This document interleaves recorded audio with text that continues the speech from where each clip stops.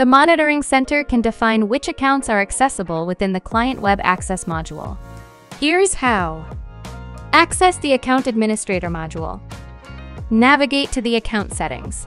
Toggle the Web Access option to enable or disable it. This action determines the visibility of accounts within the module. Remember to leverage this feature to tailor account accessibility to your specific needs.